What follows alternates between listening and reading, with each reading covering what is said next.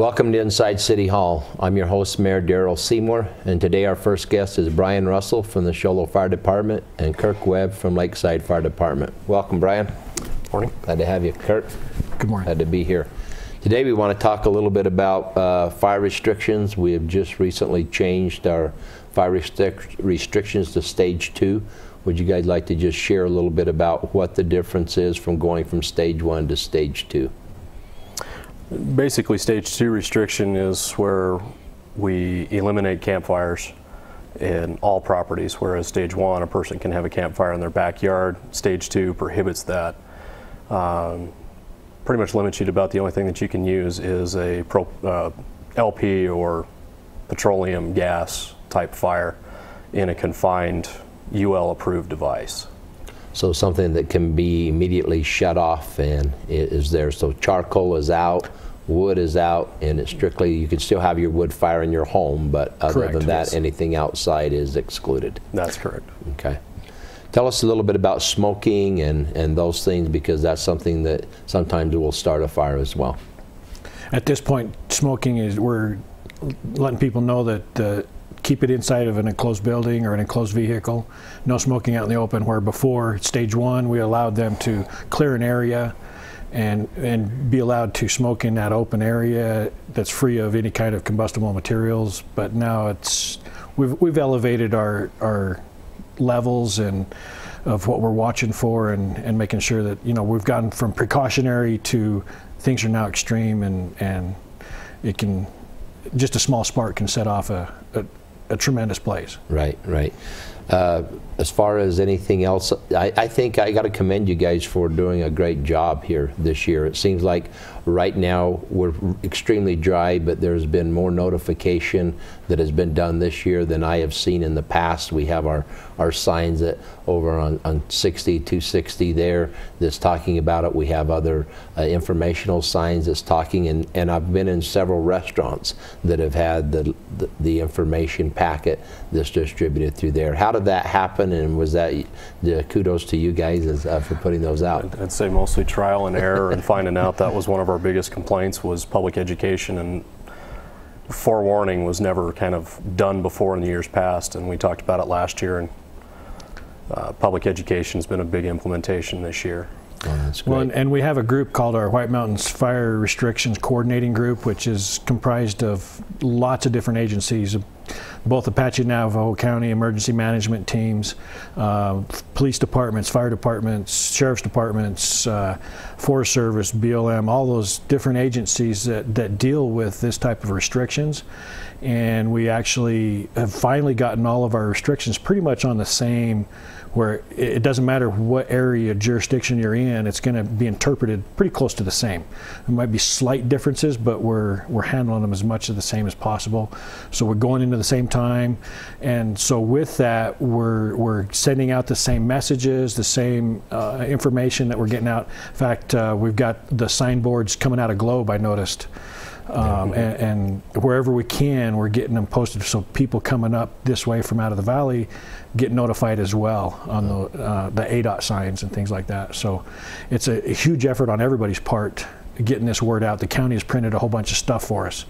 Uh, and we're disseminating. In fact, we went out last week and talking to business owners and saying, look, you know, maybe if you don't mind, pull the charcoal and, and bundles of wood and lighter fluid, things like that, off the shelves as possible, or at least post a sign saying it's not okay to have an open campfire. right, that's fantastic. Yeah, they've been very, very helpful with us on that and, and very cooperative. Okay. So- And it's everybody's effort. I, I believe we got through Memorial Day weekend without a fire. And a couple of years ago, that's when the Wallow Fire started, was on uh, Memorial Day weekend. And we had a lot of people up here. And, and for the most part, I think people followed the restrictions that were in place. And it was kind of confusing because here we posted stage two on Friday at, at 8 o'clock, and at 10 o'clock it was, it was raining. And we mm-hmm. appreciated the rain, the moisture, but it's not enough to completely change those conditions. No, it's going to take days and days of moisture to. Right. And, Change we and have. fortunately, we've implemented a pretty good social media campaign as well. We, we use uh, 311info.net pretty heavily, and that's, That's good. that's where we recommend folks to go because that's our vetted information. So. Now, there's also more restrictions because there's just, uh, you know, not just campfires, there's sparks that can come from vehicles, from welding, also from chainsaws. Let's talk a little bit about what the restrictions are there. Basically, welding is not prohibited unless it's in an approved area. Um, we do have the ability to make certain exceptions for that for folks who are in need, uh, utility companies or private contractors that, that we ask that they just call us and preset that up. We'll gladly come out, look at the area, do a survey, make it as safe as we can, and put the appropriate fire protection in place. Uh, up to and including, if available, we'll put a fire truck or a similar apparatus on standby for them if we have the means at that time. So we're, we're just trying to get folks to do it as safe as possible. You know, chainsaw, if you're in the forest, you have to follow their regulations. Chainsaw use, we, we just ask folks, if you have a question, call us and we'll try and get you through it the best we can. That's fantastic. Now, vehicles have been restricted to the main asphalt roads or the main uh, public roads, not leaving the roadways, things that way as well. Yeah, a lot of people don't think about uh, the catalytic converters that our vehicles are equipped with these days. Those things can get very hot, and just simply pulling off of the roadway into a grassy area, there's enough heat coming off of that that's generated that can can actually start a a grass fire, and can potentially go into other structures, forest, or whatever may may be nearby and stuff. So ask people to think about where they're pulling off. Make sure it's in a, in a graveled area, not into the grass and uh, things like that. So just be aware of your surroundings and, and, and what can, you know, people that just still have a habit of throwing cigarettes, that's, that's never okay. That's littering. Right. And the sheriff's department is actually very uh, adamant, and they're they're going after people that are doing that, and they will issue citations. Well, I think we need to be aware too uh, with the vehicles if we're pulling something uh, that so a lot of times the chains they, they're a little bit long and they will will make a spark and and cause you know, potential fires that have been determined to be caused from a chain that just is dragging. So when we hook up to our trailers and get ready to leave town, we need to be aware that we either tape those chains up a little bit or do what we can to make sure they're not dragging too. Right. And flat tires. In fact, yeah, very Yes. the, much so. the, the flat tires on, on your trailer, you, it may be, you know, so be constantly looking in your mirrors, which we should do as a good driver anyway. But uh, if, if we happen to notice a flat, stop and get it checked because just sparks coming off the metal rim hitting the asphalt uh, has started fires. can be extremely hot there. Now we got Freedom Festival coming up here. Some of the exciting times that we shoot fireworks as a city uh, under the direction of the police, de- uh, fire department. Tell us a little bit about what our plans are, what the restrictions are on fireworks. I know fireworks are not allowed in the city limits, uh, and we have to be extremely careful there. And I know people will come and they'll say, well, then why does the city shoot fireworks off on the 4th of July when there are no fireworks restrictions, you know, in our community, or there are fireworks restrictions? So let's talk about that a little bit.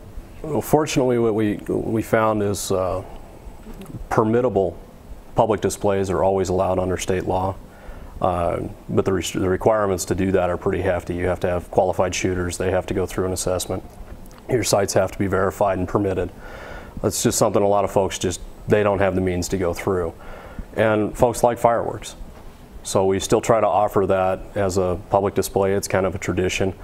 But we do make sure that the safeguards are in place. We do have roaming patrols looking for hot spots. So we- they look, check our fallout fields. We, we have a lot of implementation of safety that goes into these shows every year. Whether folks will ask us, well, we're in stage two restrictions, we put safeguards in place for that. The only time that we really won't shoot is when we're in a red flag condition, which is high wind, relatively low humidity in the, in the single digits, or we have weather events that come in that, that make our fallout field less controllable. So um, it's just something that we work on, but we try to assure the public. We do have, we bring in trucks from all around the community to help support this, from Forest Service to state land to other jurisdictional agencies that do nothing but drive around and, and look for hotspots. And all of our shooters go through training, they get the hands-on experience, and yeah, it's, it's dealing with explosives. Definitely, definitely. So, It's something that we need to be aware of and, and know that that that's, you guys have the training, we have the resources, we have the fire trucks, we have, like you say, several, a lot of people on guard ready to immediately be able to extinguish a fire if there's something got started. Yeah, we, we just want to impress on the public to let them know that if it's an unsafe condition, we won't shoot. But if the conditions are allowable, we, we try to accommodate that tradition as much as we can. Right. And it's something that. we're monitoring right up to the time of prior to setting them off too, so we can shut it down at any time. Right. You know, last year it was one of those things that we were in question whether or not we would shoot the fires, and we had the Yarnell, you know, tragedy that just happened on that. But I think what happened at the uh, football field that night and the tribute that you guys were able to put together for those fallen uh, comrades, it was it was something that was just spectacular that will always be remembered in this community as well. And as we go through that, tell us a little bit about the next stage if we had to go to stage three. Uh, I don't ever really want to talk about it, but but if we had to go to the next stage, uh, there is one more stage, correct? On stage three, actually, when you're looking at uh, that through the, as the way the Forest Service looks at, they look they, that's called closure. Um, now, if we try to equate that to what we're doing in the cities and towns and, and county jurisdictions, if there's really not a way to close the town down or city down unless we're evacuating. So that's kind of stage three as far as in inside the city and town areas is if we have to evacuate. Okay. So hopefully, like you said, hopefully we never get there, but we're we're doing training. Um, you know, looking ahead, if looking at uh, potential areas that may be more susceptible to wildland fire and, and its its approach and whatnot, because realistically, a fire can start anywhere within the within the town Right. as well as outside of town. So the Forest Service, if they moved to stage three, they would probably just start with particular areas first, and before, eh, but they may have to call a complete forest closure too. Generally, a lot of times what they do is they'll do selective closures under stage two. Um, they'll the isolated areas south of town and, and some of the areas to the east.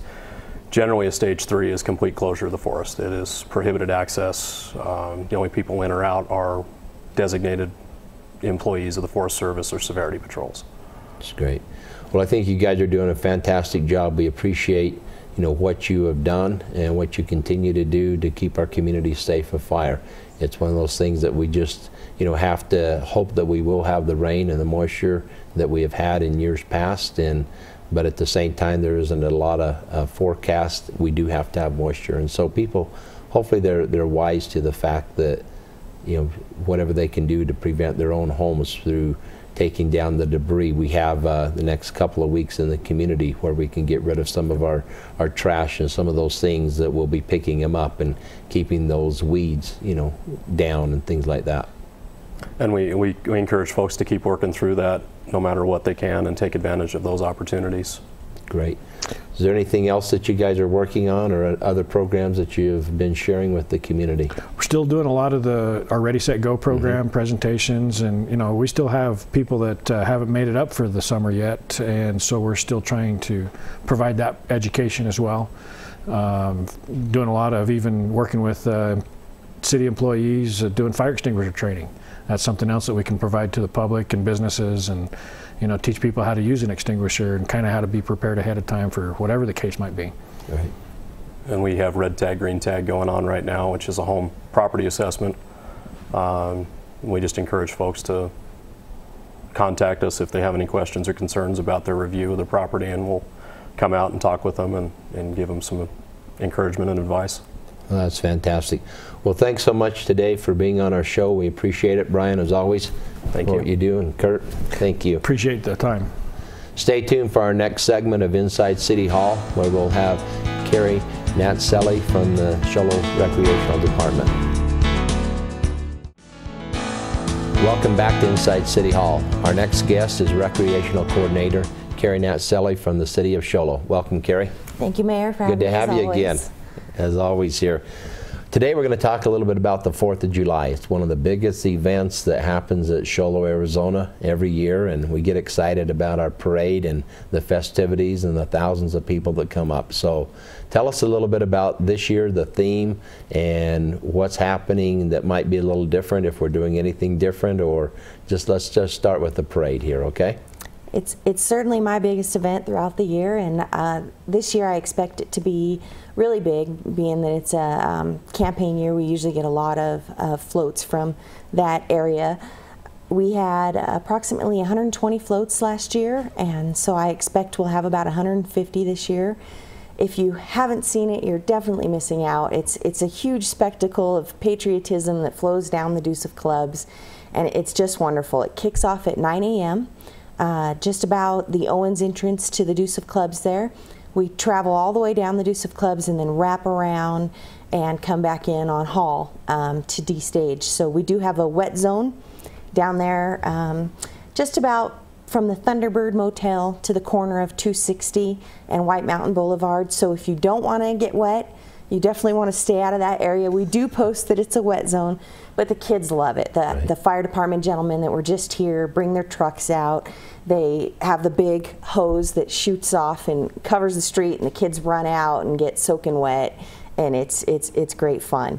You know, those people have been sitting there the longest to wait for the parade to get to them, so they're a little hot, so it's a great place to soak them down. Yes, you'd think at that early in the morning that they wouldn't be ready for it, but they certainly are, and I know I am. I, I, I would appreciate a douse off, but no, got to stay dry for the rest of the day. Now, is it, it is actually on the 4th of July is the day that we'll be having the parade this year. It is the fourth. I'm, I'm glad you brought that up because I have had several calls about that, but we, we do actually s- do it on the fourth. Um, What is, what is this year's theme, the theme for the parade? A family Fourth of July. All right, so it's going back to the old-fashioned family, what maybe families do. I know we have some old families in our community that we've we've asked to be uh, the master. Well, I guess it'd be what what's the proper word? The uh, they will be our grand marshals, for marshals, this that's year. it. So Can you come up that's that? perfectly said. We will have some of the original families that helped establish this community um, be our, our grand marshals for this year's parade. So I have some that are definitely confirmed, some that are not quite yet. So I, I don't want to say 100%, but I know we'll have uh, the Gilmore family. Uh, we should have. Um, I actually contacted your office as well, Mayor. Uh-huh. So we'll see if we can get you out there Oh too. yeah, we're, we're, we're not completely original, but we've been here a long time. But yes, uh, a lot of the original uh, original families that have been here for for years, and That's so um, I'm hoping everybody will come out and enjoy that as well. Okay. Now, after the 4th of July, the parade, it starts at 9 o'clock and it's a long parade. It usually lasts about an hour and a half, sometimes up to two hours, that we actually have the of Clubs, you know, closed during that time. But one of the things that we have afterwards is the festivities where families can get together. But I think it's one of the things that we try to get people to, to have a little bit of leisure time with their families, but then come back together over at the football field. And that starts at what time? The Freedom Festival over there. Three o'clock this year. We do try to give them just a little bit of a, a break, but you definitely want to come back out. We announce the uh, parade winners Okay. at Freedom Fest. I forgot to mention that. Wh- What are the categories in the parade that we're judging for this year? We will have the Judge's Choice, which is a $500 cash prize, Best Use of Theme, $300, and Best Display of Patriotism for $300 as well. That's great. And I love that we do it at Freedom Fest now. We've done that last couple years.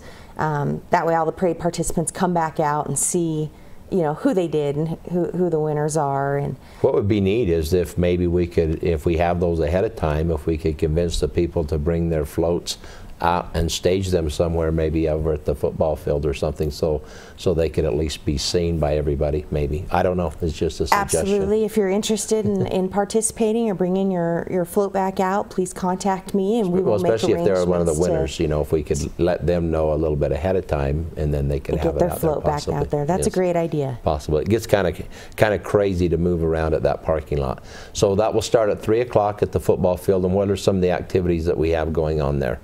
We are going to have, we normally do a kids zone. This year it's going to be bigger and better than ever. We, we have a few rides for the teenage adult group as well. Uh, so it's not just necessarily little kids, but we will have the bounce house. We'll have um, a giant inflatable obstacle course that the kids run through. Everything is Western themed this year, so it's going to be really cute. You'll see lots of cactuses, and we'll have a mechanical bull. So if you're brave enough to come out and try the mechanical bull, we certainly encourage you to. Uh, we'll have a Western shooting game, just all kinds of great, great fun stuff for, for the kids to enjoy. Will we have some food there as well?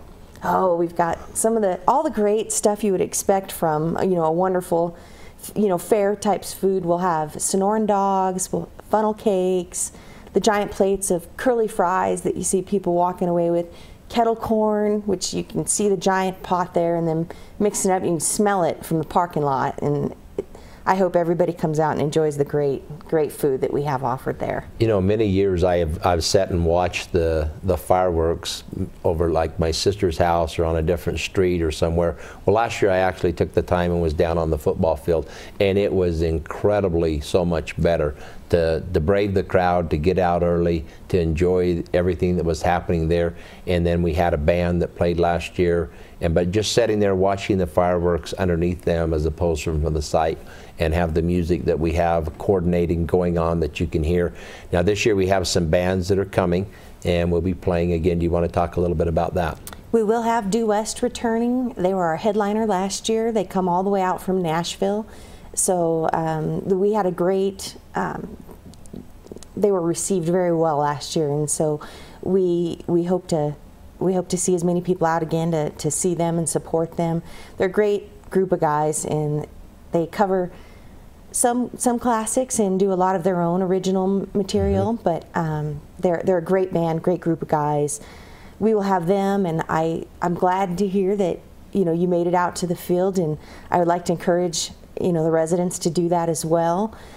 I, I know it is a little bit of you know facing the braving the crowds and stuff, but there's plenty of room out on the field. Bring your blanket, bring your camping chair. The bleachers are always full um, because you do get to see the tribute for the Yarnell firefighters and things like that that we do on the field that you can't necessarily see from right. from home. And so. I think last year that tribute was just fantastic. Uh, the way it went there, the the feelings, the the reverence of of that happening, and and it's really a, about our patriotism and and being totally involved, uh, 100% there. So it's it's great.